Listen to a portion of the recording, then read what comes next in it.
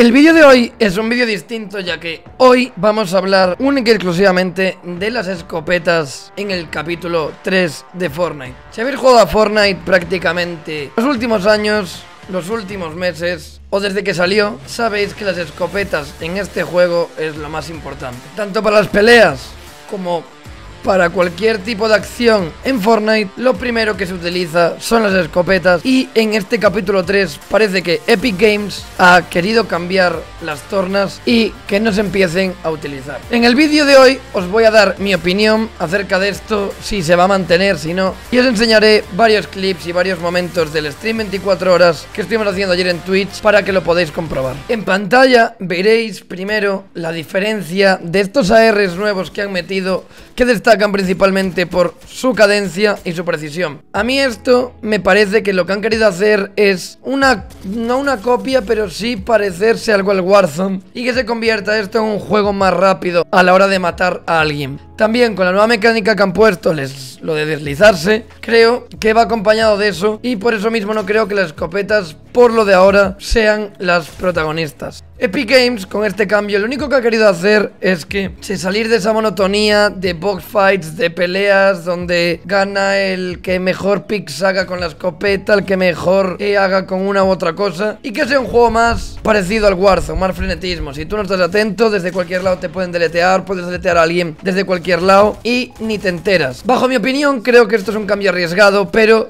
que puede estar bien ya que como a todo hay que adaptarse y jugar el nuevo meta y no tener que criticar o quejar durante todo momento, pese a que nos frustre y no estemos acostumbrados, yo creo que es divertido y está bien. En cuanto a lo competitivo, pues la verdad no tengo ni idea de cómo será, he estado jugando alguna contra en Stacket y es lo único que me da miedo y me falla, ya que literalmente con este meta no se puede jugar competitivo. Para un modo casual, para gente nueva que juegue Fortnite o gente que juegue sin más al juego, lo veo bien, de hecho a mí me gusta, me parece gracioso y divertido, pero para alguien que compite es literalmente imposible. Gente que ha intentado pues jugar customs, jugar partidas donde hay mucha gente y veis que tanto la R como el SMG, que son las dos armas de las que estamos hablando en este vídeo, están por encima de cualquier otro arma del Fortnite. No sé cómo lo hará Epic, no sé qué decisión tomará, pero os dejaré por aquí en este vídeo una partida del otro día jugando arenas para que veáis pues la rapidez con la que matan los ARs, la rapidez que hay, cómo te pueden deletear desde cualquier lado, cómo te pueden prácticamente bajar la vida de todos los lados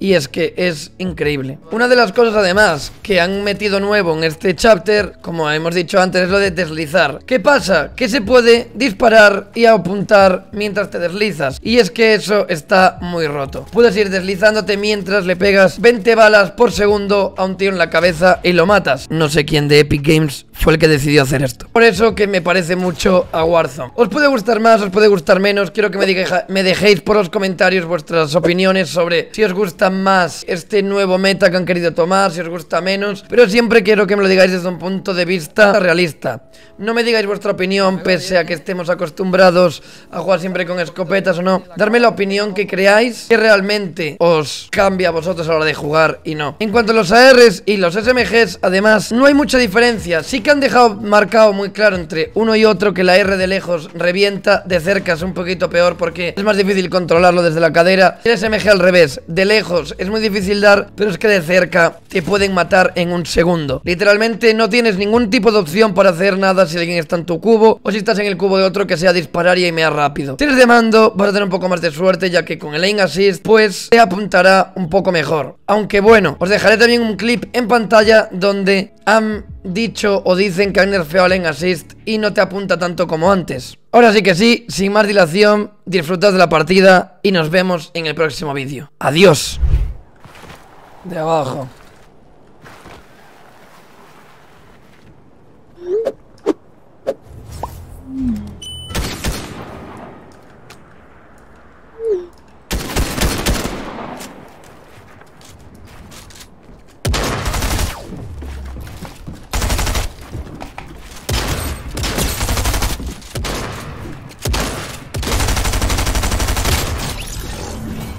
Este juego, tío, esta escopeta, este truño, este cagallón, tío.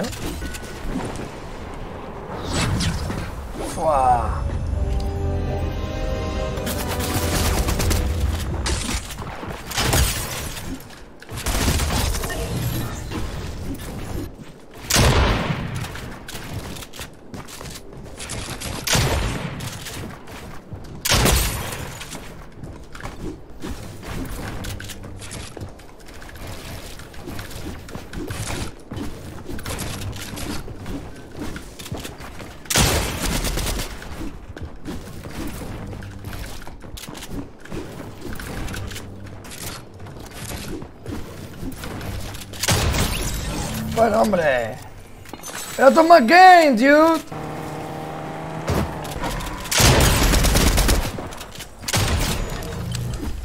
Nice. Good shit.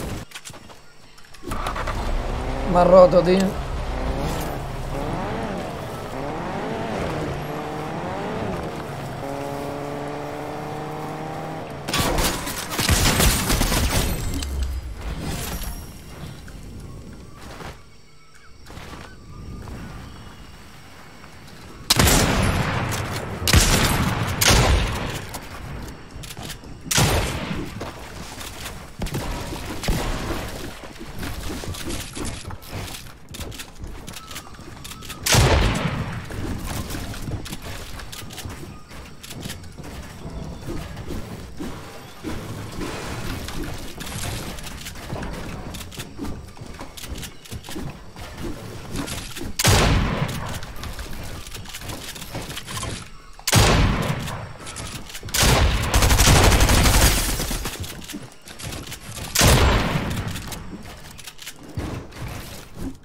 Joder.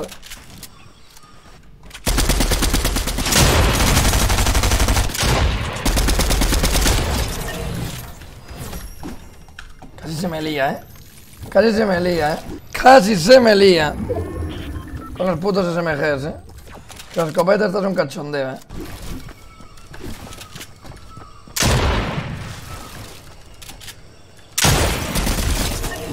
Joder. Para eso me, para eso me robas la kill.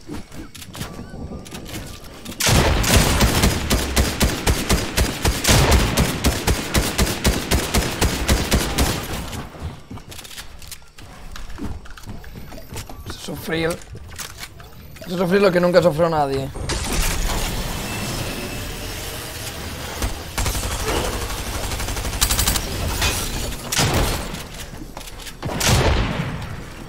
Hijo de puta. Joder, está tan tocado este pibe, tío. Pues GG's. GG, GG, Ayer